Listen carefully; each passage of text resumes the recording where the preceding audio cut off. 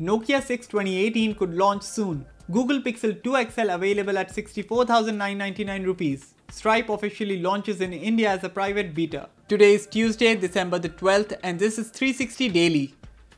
It looks like one of the first Nokia smartphones to come out in 2018 will be the second iteration of the Nokia 6. A smartphone model TA1054 which is touted to be the Nokia 6 2018 recently passed TENAA certification in China. The listing does not reveal details like the phone's design or specifications but this is reportedly the dual SIM variant of the upcoming Nokia 6. It is expected to have a similar design language as the Nokia 7.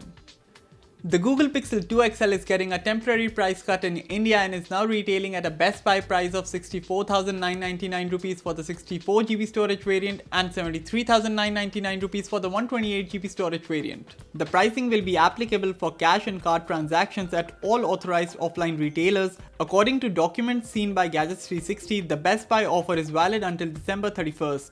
Want to get it for even lesser? There are some more offers we have listed on gadgets360.com.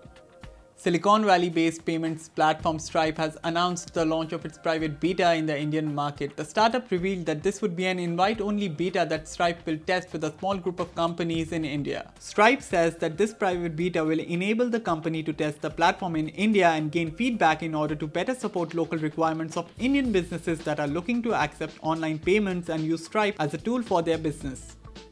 Apple confirmed that it would buy leading song recognition app Shazam in a fresh bid to secure an edge in the intensifying battle of streaming services. In more Apple news, a new update from the company enables developers to make their new apps available for pre-order on the App Store. This new feature will allow customers to view and order the app even before it is available for download. Payment for the paid apps will be charged to the user once the app is available for download. Airtel has announced the launch of 4G services in Dras, Kargil and Leh in the Ladakh region, claiming to be the first operator to provide high-speed data in the area. The company says subscribers, both locals and tourists in 130 towns and cities of the Ladakh region will now get 4G access with this rollout, which is part of its Project Leap initiative. So that's all on this edition of 360 Daily and for all things tech log on to gadgets360.com.